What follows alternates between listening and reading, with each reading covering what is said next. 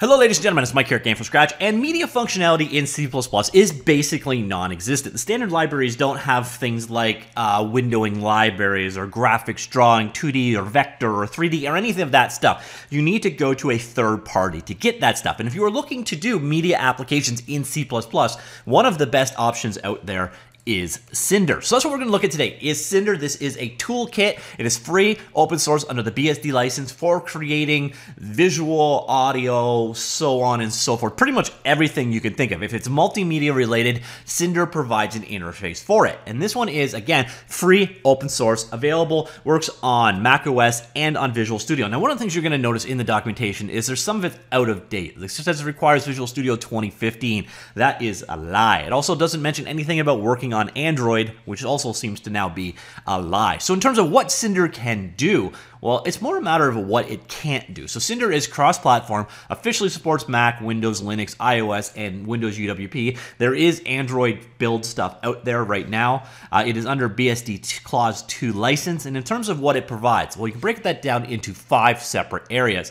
First one is you got the platform core. This is the uh, things like uh, handling touch on uh, touch-oriented applications. So, so if you're on like uh, a tablet Windows PC or a mobile phone or whatever, uh, abstracting away the file system below, and even things like handling screensavers, internet handling, and so on. So all of the stuff that you need to do, uh, you know, networking, file loading, and that kind of stuff in a cross-platform way.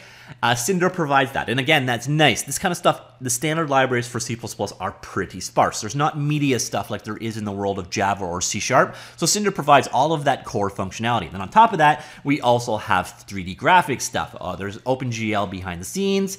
Uh, it's got stuff like textures, FBOs, GLSL, the shader programming, VBOs, lights, materials, display lists, um, GUI parameters, core classes, OpenGL core. Then we get into the mathematics stuff. It provides a number of math-based classes that you would require. We have 2D graphic support, uh, including SVG, PDF, and so on, font handling, uh, HDRI imaging, uh, image loading, uh, and then finally we get into the media stuff where we're even getting into stuff like OpenCV, which is computer vision. Uh, we got audio um, input and output, so if you need to record audio or play it back. Uh, video support if you need to capture from a video capture device. Basically, if you need to do anything multimedia related in C++, Cinder is kind of a catch-all for doing that kind of stuff. As I mentioned earlier on, it is open source, available up on GitHub. This will be in the linked article down below if you want to go ahead and check it out. The last official release was uh, 2020, but it's very much under active development. As you can see here, they are, so 26 days ago was the most recent update to this particular branch. Oh, sorry, 19 days ago. So this is a project that has been around for a very, very long time. Let's see what they've got in terms of official releases. We are seeing, going back to uh, 2010. so in 2010, they released version 0.8.0. They did not increase their version numbers very often. So if you were looking for multimedia uh, stuff, you're trying to create a level editor, a tool, uh, maybe even a game engine, a lot of this probably isn't real-time specifically supported, but there is a lot of functionality in here. In fact, let's show you one of the examples in action. Then I'm going to show you how to go about and actually work with Cinder. So this is a cloth simulation application. This is built on top of their OpenGL stuff, and it's handling cloth simulation. Pretty straightforward. So you get an idea. This is an extreme edge case of what Cinder is all about. But when we go ahead and look at the examples, you're going to find Cinder does a little bit of everything. So if you were looking for a media application, Cinder is probably where you're at. So let's go ahead and look at how to grab it. First things first, go to the GitHub webpage, go to the code, and clone and grab the uh, the link. And then we're just going to go ahead and open up. Actually, I'll do a developer command prompt like so. Let me zoom that in so you can see what I'm doing. All right, so we go into the temp folder, of course. Uh, Cinder. All right, so what we're going to do is now do a git clone and then bring that repository down. Now, one of those things about git is it's kind of universally slow. I'm on uh, gigabit internet and I download at 3 MIBs per second, so I'm going to just go ahead and pause while git does its thing. All right, so there we come to the end. You're going to notice this is a 400 megabyte uh, repository, so 415 megabytes. So it's going to take a little bit of time if you got a slower connection. And then we're All right, now that you've got the uh, source code cloned, it's pretty simple from this point on. Uh, here we are in our directory. Going to go ahead, do an Explorer current directory, and open that file up. So we're going to go into the Cinder directory right here. And what we've got, uh, really all you need to do is go into your projects folder right here and pick your platform of choice. Now you're gonna notice we've got uh, Xcode, CMake, and Android options out there. Visual Studio 2015 for the old school WinRT, but you're gonna probably, if you're on Windows like myself, want to use Visual Studio 2019 and just open up the solution file. Now what we're going to need to do is go ahead and build this thing. We're going to have to build it for the matching platform that we're going to use in our examples. Uh, not too difficult. All you basically do is come in here and select the right version. So I'm going to do a full debug version uh, and x64. Once we are good to go, just do uh, Control Shift B. I already built it, so you're not seeing much happening here. If you want to jump in, you can see the code is it's pretty straightforward. It, it's clean enough C++ code. You can see all of the various different dependencies it works on are in here as well. So once you've got that built, this is going to generate a lib file. So we're going to go ahead, take a look at it right here. So here we are back at the root of the Cinder project. That process, this compilation process builds this file right here, lib, MSW for Microsoft Windows. Obviously, if you're on a different platform or build chain, you're going to have a different answer. MSW, x64, debug, v4, v42, that could change depending on your compiler as well. And then finally, cinder.lib. You're going to notice cinderlib is gigantic too, 162 megabytes in size. All right, so now if you want to go ahead and check out the samples, let's go back to Cinder itself. And you're going to notice we have a samples directory. And this will give you an idea of the samples we are dealing with here.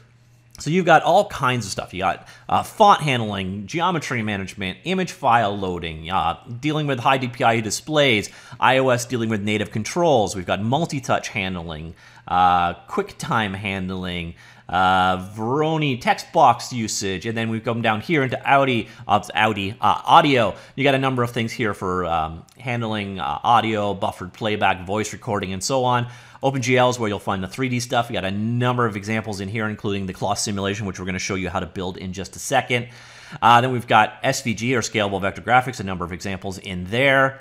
And timeline, uh, we got a number of different examples here as well, palette browser, tweening, and so on. So there is a ton of media functionality in this guy, and that is, again, very, very handy because the world of C++ just doesn't have this out of the box. So if you want to go ahead and build a sample, just go on in here, go to, say, the sample you want to open up, pick your platform of choice, in my case, Visual Studio 2019, and open up the solution file.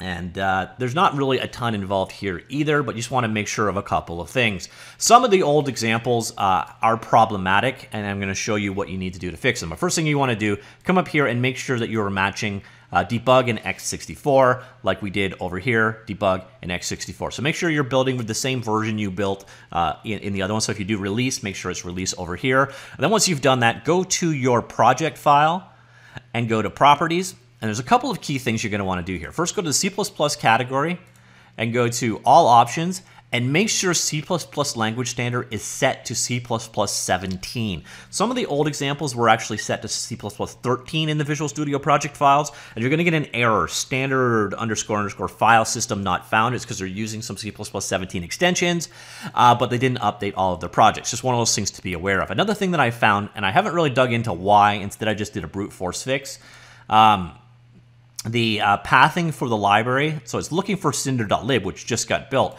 and it's doing so using uh, the the path here. And now I've actually hard set it already here, but you're gonna find it's trying to find it via dot dot slash dot dot slash and so on. So it's trying to find it here.